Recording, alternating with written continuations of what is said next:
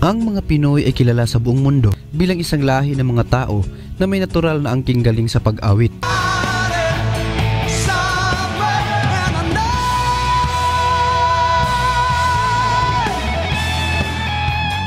Kung sa ibang bansa ay kailangan pang i-develop ang talento ng isang tao sa pamamagitan ng mga voice lesson at pag-aaral, pues sa Pilipinas ay di na kailangan ng mga ganyan.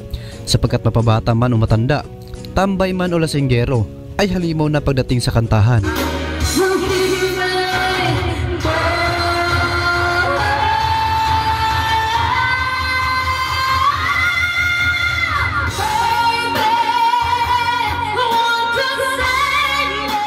At ang isa sa mga dahilan nito ay ang lubang pagkahilig nating mga Pinoy sa karaoke. Isang machine na matatagpuan kahit sa ang lugar dito sa Pilipinas. Ang pagkakaroon ng sariling karaoke sa loob ng ating mga tahanan ay tila naging parte na ng kulturang Pinoy. Pero sino nga ba ang lumikha ng bagay na ito? Paano nga ba lumaganap ang karaoke dito sa Pilipinas? Pwes yan ang ating pag-uusapan ngayon. Welcome sa Marchants TV. Ngayon ay kikilalanin natin ang Pinoy na idineklarang nakaimbento ng karaoke system. Pero bago tayo magsimula, huwag kalimutang mag-like and subscribe sa ating channel para sa mga marami pang videos na kagaya nito. Let's start! Actually, ang ideya tungkol sa karaoke ay nagmula sa isang Japanese na may pangalang Daisuke Inoue. Tinawag niya itong karapo orkestura na ang ibig sabihin ay empty orchestra. In short, karaoke.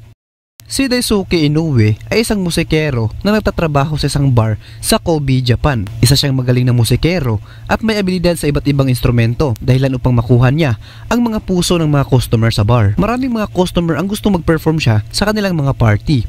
May pagkakataon na may isang customer na gusto siyang kunin upang mag-perform Ngunit sa sobrang busy ni Daisuke ay di niya ito mapupuntahan. Doon ay naisip ni Daisuke na mag-record na lang ng mga backup music at ibinigay ito sa customer. Pagkatapos ng pangyayaring iyon ay nagka-idea na si Daisuke na bumuo ng isang machine na mayroong mga nakasave na backup music. Kaya doon ay binuo niya ang isang grupo na mayroong mga electronic specialists, woodworkers at mga furniture finishers.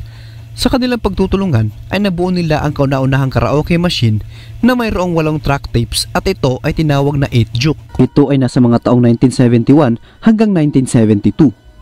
Ang 8 juke ni Daisuke ay kanyang pinaarkila at pinagamit sa mga night hub bars sa Kubi. Mga bars na walang masyadong budget para magbayad ng mga live musicians. Ang 8 juke ay pinapagana sa pamamagitan ng barya at kahit sino ay pwedeng kumanta, maganda man o di kaaya-aya ang boses.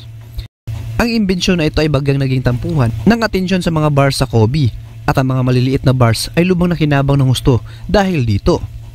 Ngunit ang pagkakamali ni Daisuke ay hindi niya naipatent ang kanyang imbensyon na karaoke machine. Ano nga ba ang patent? Ang patent ay isang uri ng lisensya na nagbibigay ng isang legal na karapatan sa isang individual na ibukod ang kanyang imbensyon laban sa mga taong nais na gumamit o magbenta nito sa limitadong panahon lamang. At dahil doon ay walang nagmamayari sa imbensyon na iyon at malayang gayahin at angkinin ng kahit na sino man. Bukod pa dyan, kalaunay itinanggi rin ni Daisuke na siya ang nakaimbento nito. Sadyang pinagsama niya lang daw ang stereo ng kotse, isang kahon ng barya at isang maliit na amplifier. Sa pangyayaring ito ay nagmistulang daan naman ito para sa isang Pilipino na i-improvise ang likha ng inventor na hapon. Isang Pilipinong inventor ang lumikha ng kanyang sariling versyon ng karaoke. Siya ay tubong Pasay na may pangalang Roberto Del Rosario. Isa ring musikero na tumutugtog noon pang World War II. Taong 1975 nang magsimulang trabahuin ni Del Rosario ang kanyang sing-along system at ito ay nakumpleto hanggang taong 1977. Sa pagkakataong ito ay fully upgraded na ang bersyon ng karaoke machine ni Del Rosario. Inilarawan niyan ang kanyang karaoke machine ay madali lamang gamitin at maraming purpose. Kabilang na nga dyan ang pagkakaroon nito ng sariling amplifier speaker, dalawang tape mechanisms, isang optional tuner o radio at mikropono na mayroong mixer at echo na nakakatulong sa pagpapaganda ng boses ng isang tao. Ang effects daw ay maiahalin tulad sa mga mga awit na nagtatanghal sa mga opera. At ang lahat ng kahangahangang mga features na ito ay nakapaloob lamang sa iisang kahon. Naipatent niya ito noong July 2, 1983 at may pangalang UM5269 at nirenew naman noong November 14, 1986 at tinawag naman niya itong UM6237. Ang karaoke ay labis na tinangkilik ng mga Pilipino sapagkat noong unang panahon ay kadalasan nakakahawak lamang ng mikropono ay yung mga taong nagtatanghal sa entablado at may magagandang boses. Ngunit sa tulong ng karaoke ay lahat ay pwede nang kumanta, mapanormal man na tao kahit pa sintonado. Akala ko ikaw ay akin Totoo sa aking paningin ay Malaking bagay rin ang kasiyahan na naibibigay ng karaoke, lalong-lalo na sa mga pagtitipon. Dahil alam naman nating mga Pinoy na tayo yung mga family-oriented. Tayo ay mahilig sa kahit na anong mga selebrasyon, kagaya ng birthday, binyag, fiesta, reunion at marami pang iba. Ang bersyon ng karaoke ni Del Rosario ay hindi lang sa Pilipinas sumikat, kundi pati na rin sa iba't ibang panig ng mundo. Dahil dito ay di naiwasan na mayroong mga kumpanya na manggaya dito. Noon ngang year 1990 ay dinimanda ni Del Rosario ang isang kumpanya sa Japan dahil sa paglabag ng kanyang patent. Bagamat nanalo man sa kaso at nabayaran, ay napakinabangan pa rin ng mga Hapon ang kanyang gawa sapagkat nakakuha sila ng maraming ideya at mas lalong pinalawak ang kanyang imbensyon.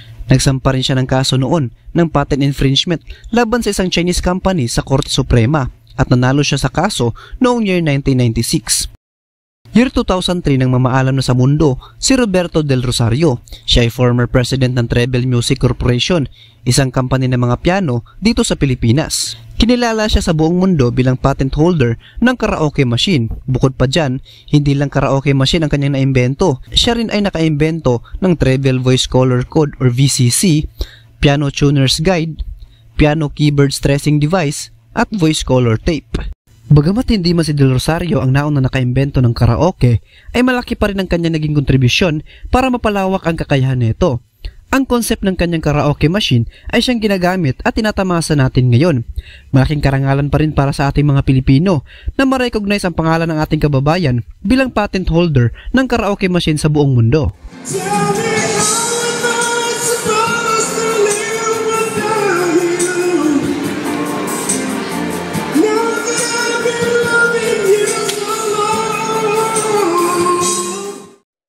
nagustuhan mo ang video na ito, huwag kalimutang i-like and subscribe ang ating channel para sa mga marami pang videos na aking i-upload.